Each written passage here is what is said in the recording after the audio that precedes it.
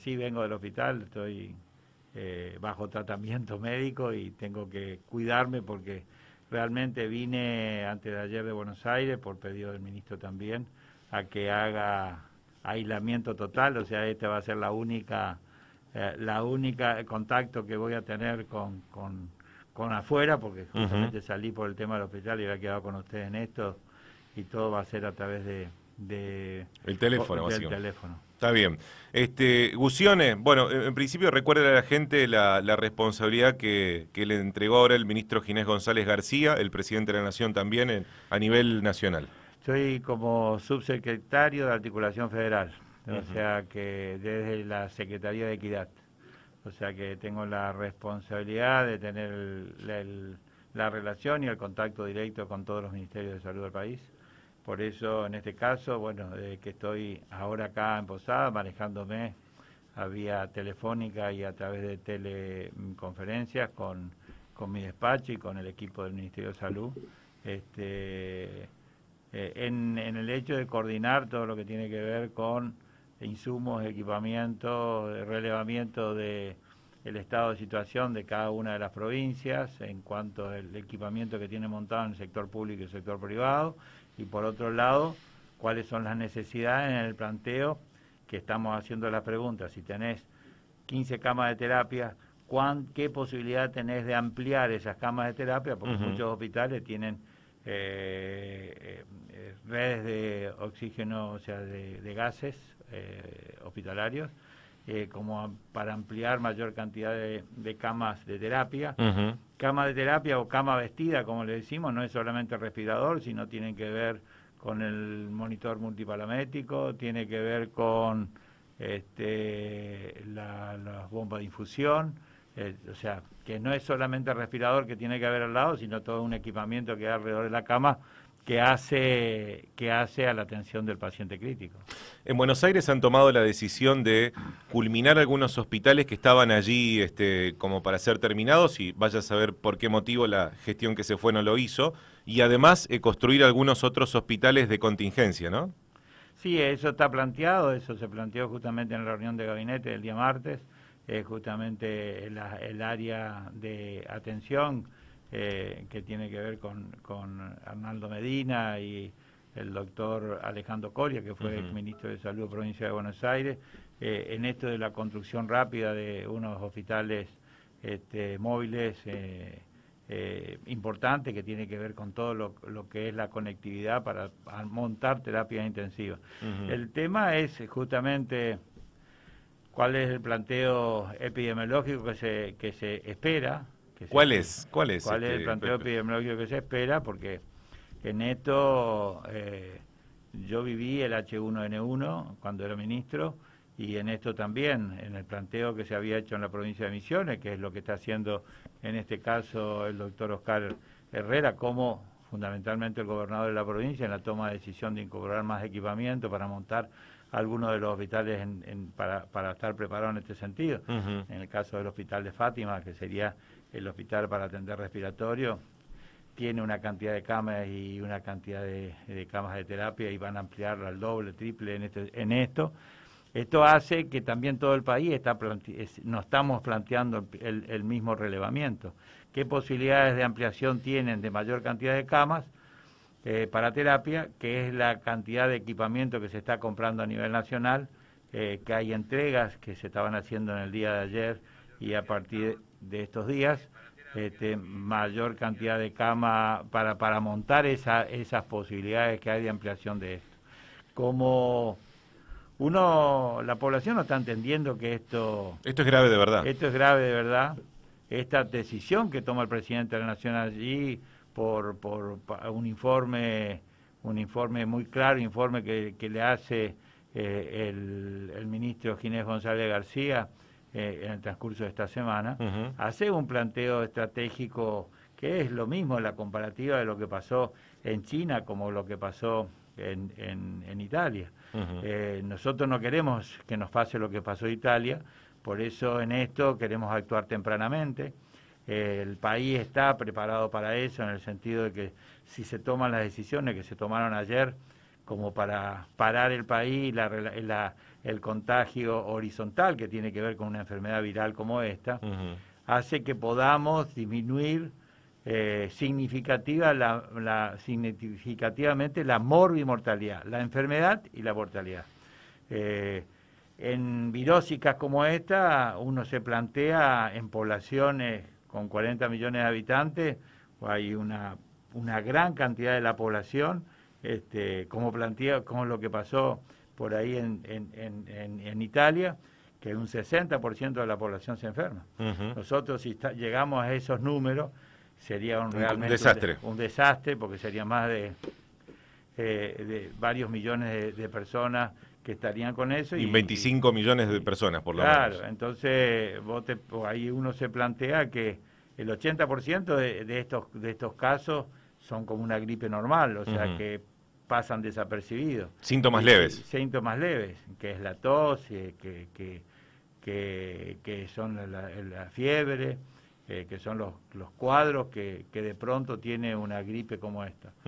el tema que uno tiene que calcular que hay un 20% que sí necesitan internación y de ese 20% que necesita internación o 10% vas a tener un 5% que son casos graves que se tienen que tener en terapia y tener que tener respirador y que tener todo el equipamiento. Entonces, cuando vos haces números como eso, ningún sistema sanitario que le pasó a Italia, eh, puede soportar y bueno, ya se elige quién los va a conectar al respirador.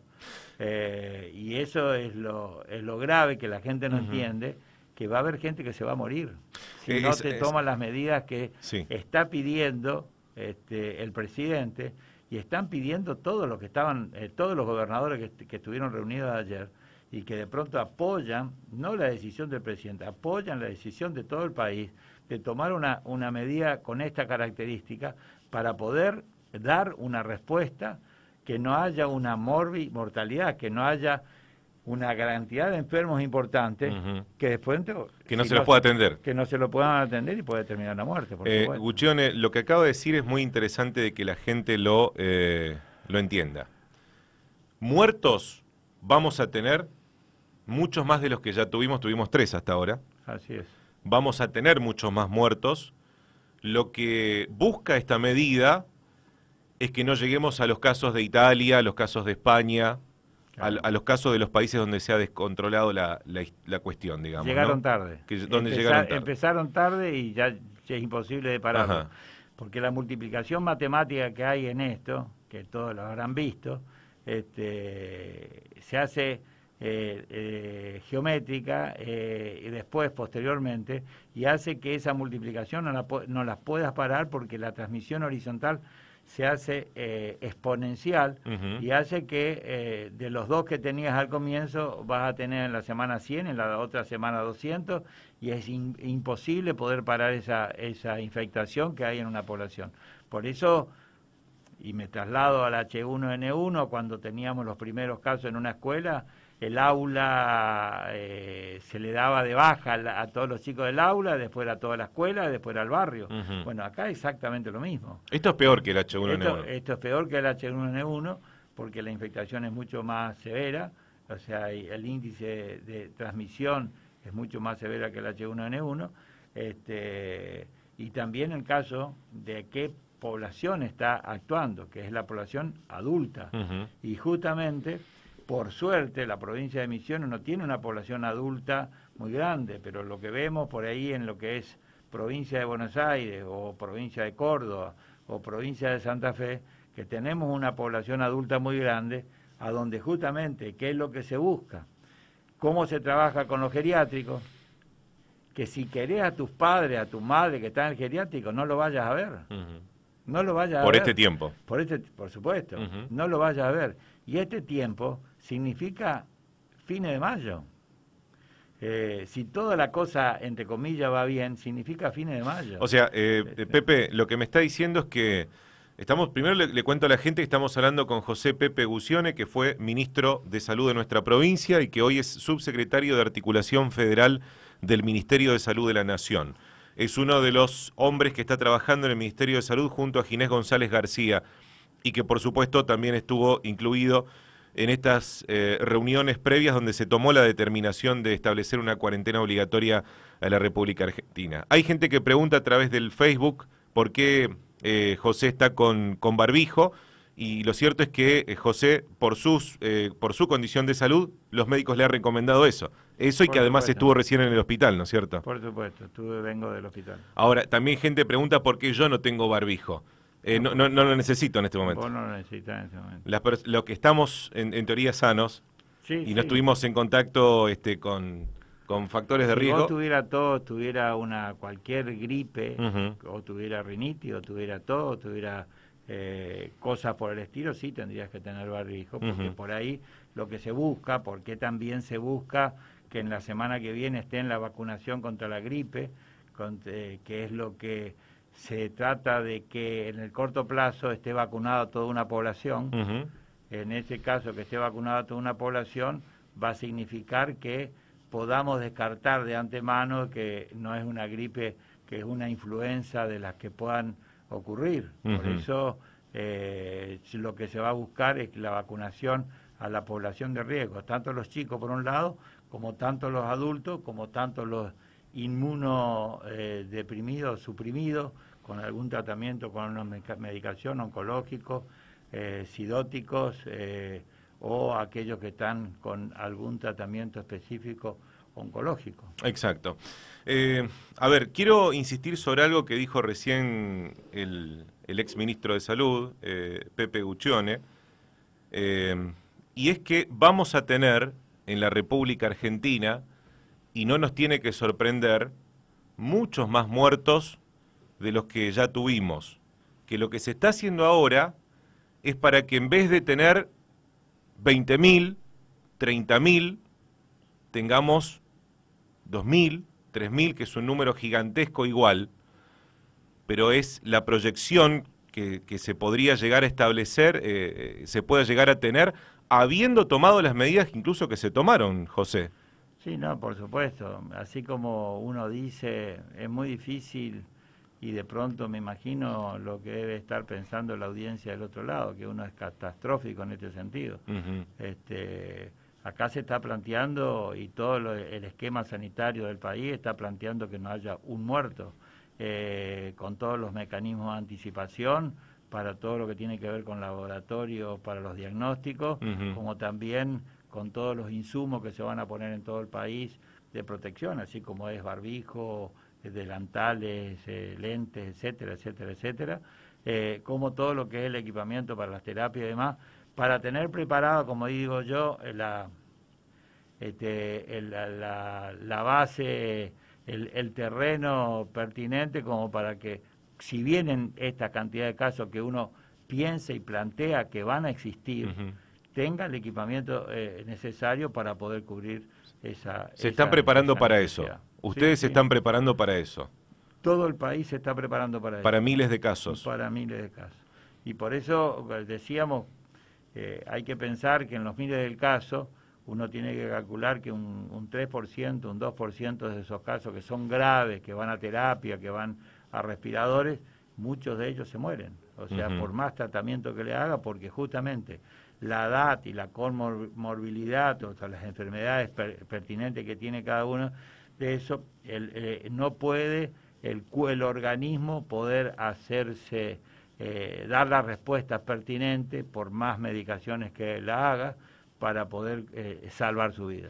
Eh, se, dio también ayer la posibilidad de que los laboratorios provinciales, por ejemplo, acá en Misiones tenemos el LACMI, puedan realizar los mismos estudios que hoy hace el Malbrán porque se habla de un cuello de botella en el Malbrán, eh, no tiene capacidad para hacer todos los estudios que hoy se necesitarían y, que más adelante se van a necesitar en Argentina. En el día de hoy viernes a las nueve y media de la mañana por teleconferencia se están formando eh, todos los referentes nacionales de las 24 jurisdicciones para que en el corto plazo se envíen los insumos para que los equipos de PCR que hay en cada una de las provincias... PCR se llama el estudio. Sí, con el equipamiento de PCR para que puedan hacerse en las provincias. Eso que vos decís fue una determinación que ya el día martes se tomó en, en gabinete del Ministerio y el día sábado, que estaba en Buenos Aires, que nos reunimos con el ministro de Salud, con quien es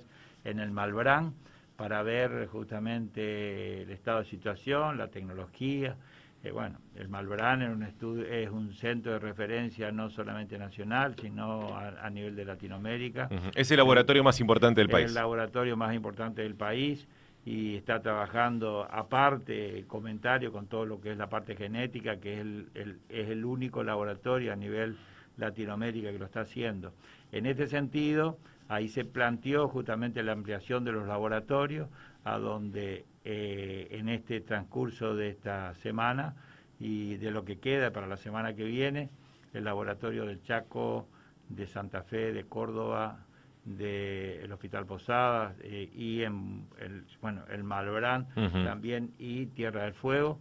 Van a Esos son los que van a arrancar ahora. Los que van a arrancar, pero en el transcurso, así como está la cosa, y, justamente ayer el presidente lo dijo, porque es uno de los temas que, se que habían planteado los ministros de salud y los gobernadores de todo el país, que esto se haga en el resto, así que en el transcurso de la semana que viene se van a enviar también eh, en algunos que les falta el equipamiento, pero fundamentalmente los insumos para hacer. Los reactivos. Los reactivos para hacer. Sé igualmente que comentario que me hizo el gobernador de la provincia, Oscar Herrera Watt, eh, en el día de antes de ayer, que la provincia de Misiones había comprado reactivos rápidos eh, chinos que estarían recibiendo en el transcurso de esta semana también. También compró respiradores artificiales. También compró una gran cantidad de respiradores artificiales, eh, no sabiendo la cantidad que va a enviar Nación, ya se, eh, como todo, preveyendo la, y anticipándose a, a la realidad,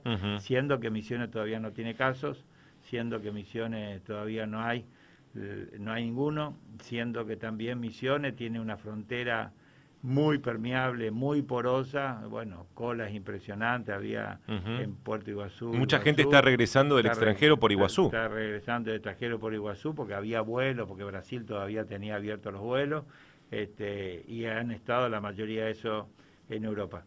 Siendo que la mayoría sabía lo que estaba pasando en Europa, viajó igual. Por eso la, la, la, la incoherencia que tenemos el ser humano a donde después de pronto también después le tiramos la responsabilidad a otro, este, ¿por qué no hacen determinada cosa cuando nosotros mismos en lo personal no lo hacemos? Eh, de hecho, Gucione, eh, o Gucciones, ¿cómo es? Este, cuando ya el gobierno argentino estableció que Brasil y que Chile eran países de riesgo, seguían yéndose misioneros a vacacionar a Brasil. Así es. O sea, hay mucho de la responsabilidad, o mejor dicho, irresponsabilidad nuestra, ciudadana, para que esta situación se siga agravando. Así es, así es.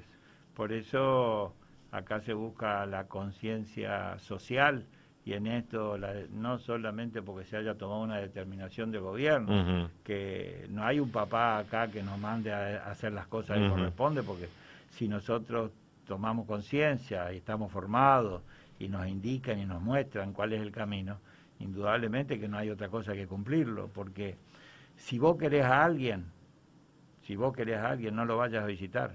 Y si a vos te, a vos te quiere alguien que no te venga a visitar.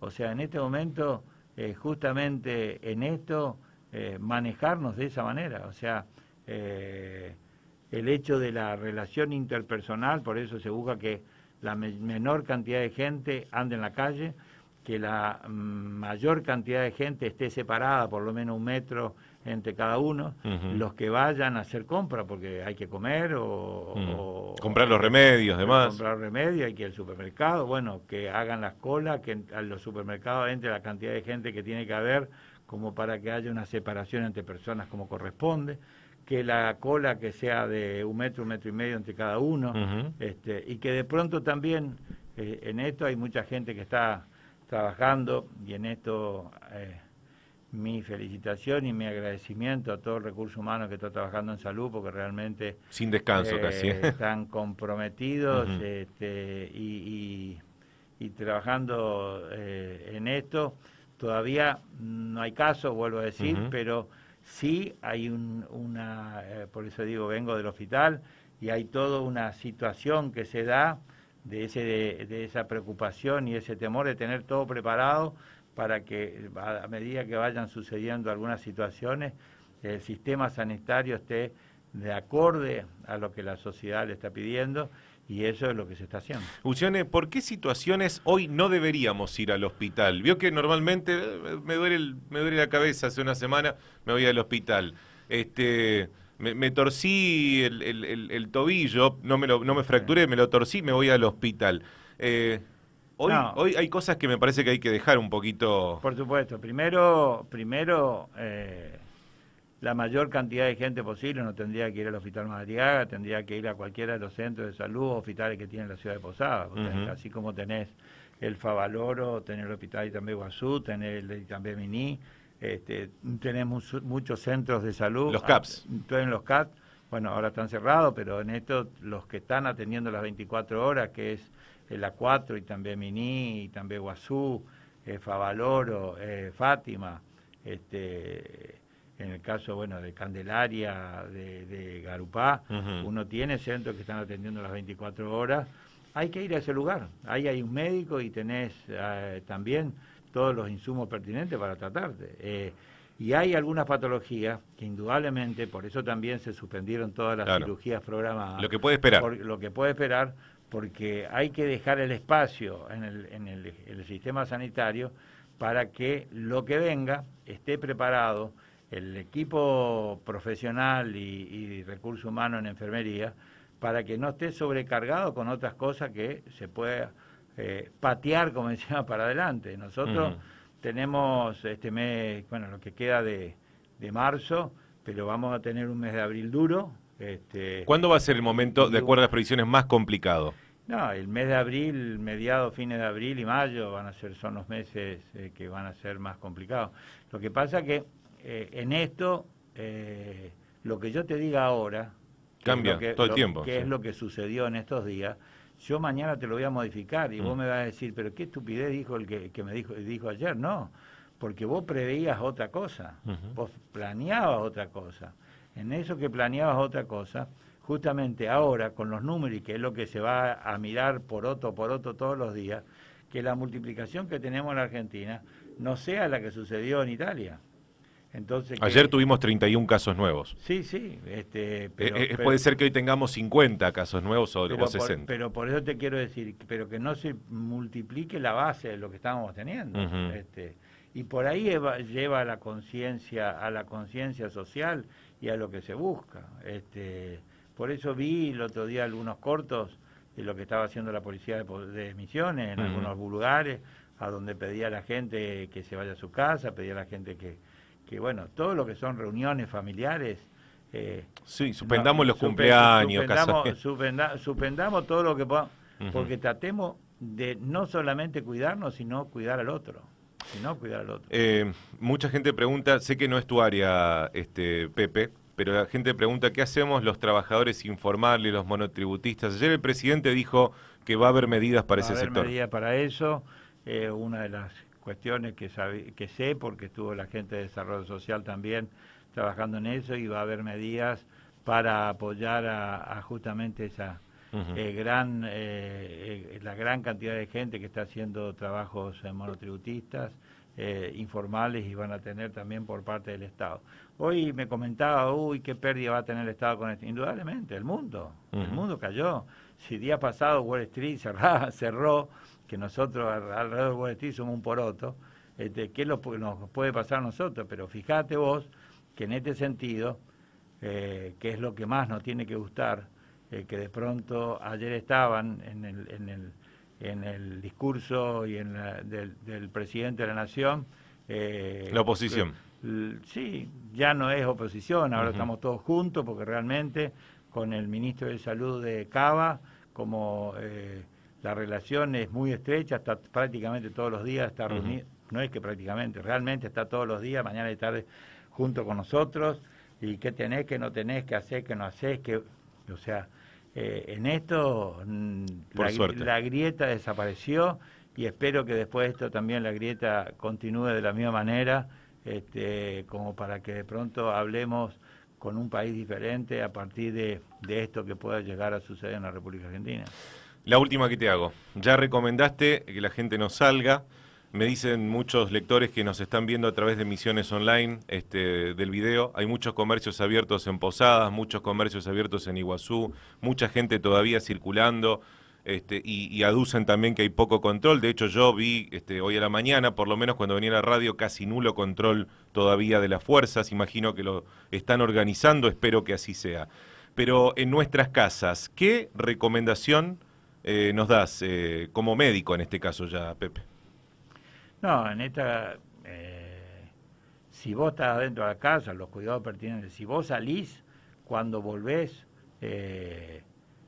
hacer las cuestiones que tiene que ver con la limpieza de los zapatos, de la, parte del zapato de la parte de abajo, con agua eh, clorada al 10%, igual que muchos hacen. Toda la, bandina, la, bandina sí. La bandina, la bandina, que es cloro.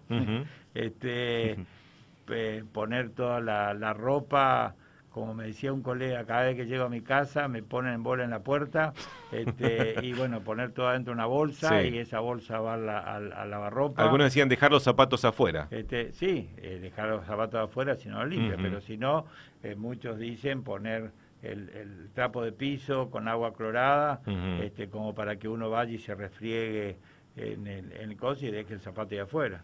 Y adentro de la casa, por supuesto, antes de saludar a alguien, o pegarse una ducha este, con agua y jabón, o lavarse bien las manos como corresponde, o agua y jabón.